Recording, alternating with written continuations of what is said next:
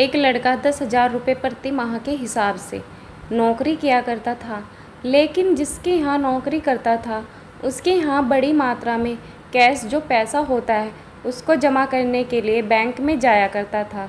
जब बैंक में आना जाना लगा होता था तो कैश काउंटर पर एक लड़की बैठी थी। उसको देखकर लगता था कि इस लड़के के पास कितना सारा पैसा होगा। यहाँ से बातचीत का सिलसिला शुरू होता है। यह तो दोनों के बीच में दोस्ती हो जाती है। दोनों में प्यार हो जाता है। एक दूसरे से मुलाकातें होती हैं। अभी मैच सात दिन ही हुए थे। अभी बातचीत का सिलसिला होता है। सातवें दिन ही वह लड़की अपना घर छोड़ आती है। वहाँ से जितना भी सोना चांदी घर में रखा होता है, घर से अपना सब कुछ छोड़कर उसके पास आ जाती है और सोना चांदी अपने साथ ले आती है।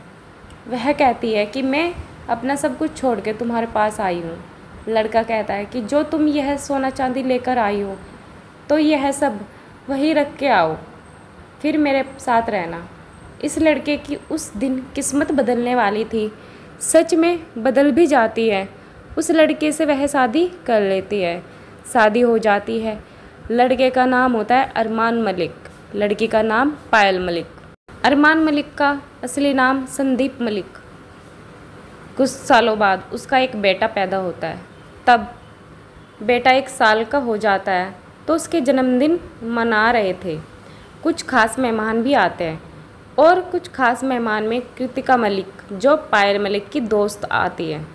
जैसे कि पायल मलिक की दोस्त कृतिका मलिक आती है, अरमान मलिक को कृतिका मलिक से प्यार हो जाता है।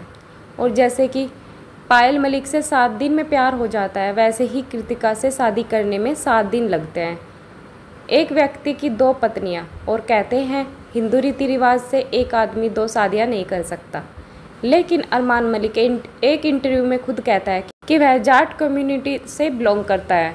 अब जाट होते हुए यानी कि हिंदू सनातन धर्म मानने वाले दो शादियाँ कैसे कर सकते हैं? इस पर काफ़ी बवाल होता है। चर्चा भी होती है, लेकिन अब फ़िलहाल वह फिर से कंट्रोवर्सी में फंस जाता है। 2019 का एक मामला था कि अरमान मलिक ने अपनी नौकरानी के साथ रेप किया। बस यह कहानी अरमान मलिक, पायल मलिक और कृतिका मलिक के बारे में।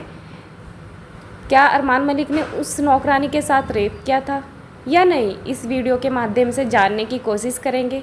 यह एक सच्ची घटना है, जो हाल फ़िलहाल की चर्चा बनी हुई है। 21 जून 2024 जियो सिनेमा पर बिग बॉस ओ सीज़न थ्री शुरू होता है।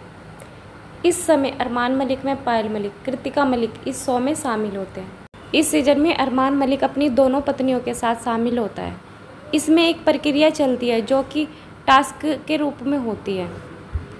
किसी को नॉमिनेट करना होता है, घर से बेघर होता है यह भी लोग बाहर की दुनिया से अलग होते हैं। इन्हें बाहर की दुनिया के बारे में कुछ नहीं मालूम होता है। जब से बिग बॉस हाउस में जाते हैं, वहाँ रहने तक। बिग बॉस घर में बहुत कैमरे लगे होते हैं। जब सब कैमरे की निगरानी में रहते हैं, इसमें दो दोस्त होते हैं, एक लवकेश कटारिया, दूसरा विशाल पांडे होता है। दोनों दोस्त बात कर रहे होते हैं जब कृतिका का आना जाना लगा रहता है। जैसे कि जिम करना, खाना खाना, बाहर घूमना, सब बिग बॉस घर में सबके सामने चलता रहता है। विशाल पांडे और लवकेश कटारिया कैसे बैठे हैं?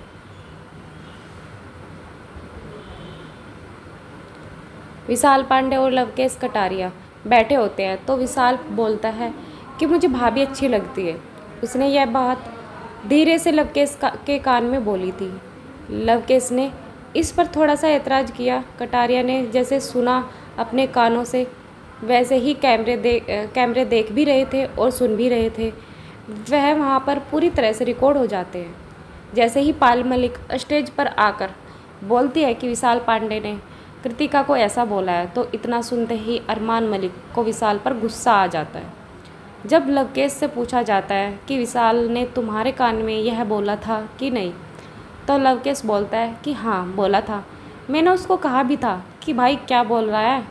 तो विशाल बोलता है कि मैं उस तरीके से नहीं कह रहा हूँ। उसे उस वे में नहीं बोल रहा हूँ। गुड वे में, यानी कि नॉर्मली जैसे बोलते हैं, मेरा कहने का कोई गलत मतलब नहीं है। अरमान मलिक और विशाल पांडे में फिर जंग छिड़ जाती है। फिर आपस में गाली गलोच होती है। अरमान मलिक को उस बीच इतना गुस्सा आ जाता है कि वह गुस्से में, गुस्से पर काबू नहीं कर पाता और विशाल पांडे को एक थापड़ जड़ देता है, जो कि ओटीटी सीज़न थ्री में सिलेक्ट होते हैं। विशाल पांडे उसको जब थप्पड़ लगता है तो उसकी गूंज पूरे हिंदुस्तान में गूंजती है। पूरे हिंदुस्तान में सोशल मीडिया के माध्यम से फैल जाती है। कि किस तरह से अरमान मलिक ने बिग बॉस घर का नियम का उल्लंघन कर विशाल पांडे को थप्पड़ मारा है। जब बिग बॉस हाउस में कैमरे में कैद वह क्लिप सामने आती है तो पता चलता है कि विशाल पांडे ने उस तरह से नहीं बोला था। उसने गलत वे में कमेंट नहीं किया था। विशाल पांडे का कहने का मतलब वह नहीं था जो अरमान मलिक ने समझा। अरमान मलिक को सच्चाई का पता चलता है। तो अरमान मलिक को एहसास होता है कि उसने यह गलत किया। बस जो बिग बॉस से बाहर की दुनिया, जो बिग बॉस देख रहे हैं, हज़ारों करोड़ों लोग अपनी प्रतिक्रिया देनी शुरू कर देते हैं। तब सोशल मीडिया पर लोग अरमान मलिक की निजी ज़िंदगी के बारे में जानने की कोशिश करते हैं। उसकी ज़िंदगी में झांकना शुरू कर देते हैं। फिर अरमान मलिक की ज़िंदगी का एक ऐसा पन्ना खुलकर सामने आता है कि उसकी ज़िंदगी एक दलदल की ओर जाती नज़र आती है। दरअसल यह कहानी शुरू होती है एक ग्यारह साल की लड़की पुलिस को एक रिपोर्ट देती है। दिल्ली का एक थाना लगता है, जो कि निहाल विहार में रिपोर्ट लिखा जाती है। सात जून 2019 को दिल्ली का जो थाना निहाल विहार में रिपोर्ट लिखाती है, उसमें बताया जाता है कि तीन भाई उसके अलग रहने लगते हैं। वह माँ और छोटे भाई के साथ रहती है। घर की स्थिति ज़्यादा अच्छी नहीं होती है, इसलिए वह घर के कामों के लिए इधर उधर घूमती रहती फिर वह अरमान मलिक के घर पर काम करना शुरू कर देती है। वहाँ पर उसकी एक बीवी पायल मलिक होती है, जिसकी दूसरी बीवी साल 2018 में पायल मलिक, अरमान मलिक का जो बेटा चीकू के जन्मदिन पर पायल की खास दोस्त कृतिका आती है, वह अरमान मलिक से सात दिन में शादी कर लेती है, जो चीकू की देखभाल के लिए अरमान मलिक ने एक नौकरानी रखी हुई थी। साल 2018 में अरमान मलिक का पूरा परिवार अहमदाबाद चला जाता है। घर पर अकेले अरमान मलिक होते हैं और जो 11 साल की लड़की नौकरानी होती है, वह भी घर पर होती है। यह मीडिया रूपी, यानी कि सोशल मीडिया पर यह खबर चल रही है। साथ ही सोशल मीडिया पर एक एफआईआर कॉपी वायरल हो रही है। उसमें भी यह सब लिखा हुआ है। यहाँ पर ग्यारह साल की लड़की नाबालिग लड़की को एक ड्रग्स का इंजेक्शन दिया जाता है, जिसमें बताया जाता है कि अरमान मलिक जब लड़की को नशे का इंजेक्शन देते हैं तो लड़की को नशा हो जाता है तो उसके साथ रेप कर बैठते हैं। अब वह लड़की डर जाती हैं, क्योंकि उसके साथ एक दो बार मारपीट भी की जाती है, जो कि सोशल मीडिया पर बताया जा रहा है। जब वह डर की वजह से अपने परिवार में नहीं बताती तो सामने वाले के अंदर और हिम्मत बढ़ जाती है। जब पानी सर से ऊपर चला जाता है तो आदमी का रिएक्शन तभी आता है। कहा जाता है कि उसके साथ बार बार रेप किया गया था। तभी यह लड़की सात जून 2019 को दिल्ली के एक निहाल विहार थाने में रिपोर्ट लिखाती है। फिर एफआईआर दर्ज होने के बाद मामला पुलिस तक पहुँच जाता है। जो भी कार्रवाई होती है तो पुलिस करती है। तब बयान दिए जाते हैं। इसमें पता चलता है कि इसमें पायल मलिक भी शामिल होती है। पायल मलिक को पता होता है, वह अपने पति को सपोर्ट करती है। अब जब यह मामला अदालत पहुँच जाता है, तब चार्जशीट लग जाती है। आरोपी को 23 सितंबर 2019 को अरमान मलिक को गिरफ़्तार किया जाता है। ऐसा मीडिया रिपोर्ट कहती है।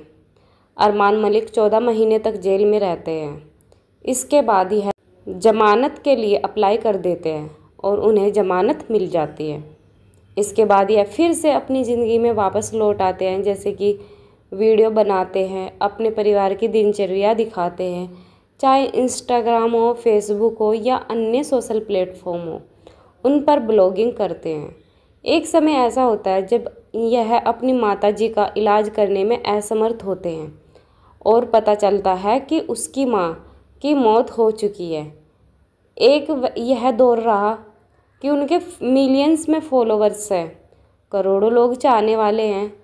साथ ही जो उनकी पत्नी पायल मलिक है, वह भी ब्लॉगिंग करती है। जो दूसरी, पत्नी कृतिका मलिक है, वह भी ब्लॉगिंग करती है। और अच्छी खासी इनकम हो जाती है। सुना है 200 करोड़ के आसपास की इनकी इनकम होती है। इन्होंने एक इंटरव्यू के दौरान खुद स्वीकार किया है कि एक इंटरव्यू के दौरान इनसे पूछा भी गया कि जो आप पर एक साल, एक ग्यारह साल की लड़की के साथ रेप का आरोप लगा है, क्या वह सच है? तो अरमान मलिक इस पर बोलते हैं कि मुझे कानून पर पूरा भरोसा है और जो आरोप मुझ पर लगे हैं वह गलत है। दूध का दूध, पानी का पानी हो जाएगा जब सही तरीके से कानून इसमें अपना काम करेगा। और पायल मलिक भी इस पर बोलती है कि वे झूठे आरोप लगे हैं।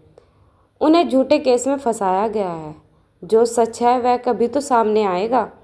इससे यह तो पता चलता है कि कैसे यानी कि मुकदमा अरमान मलिक पर तो है।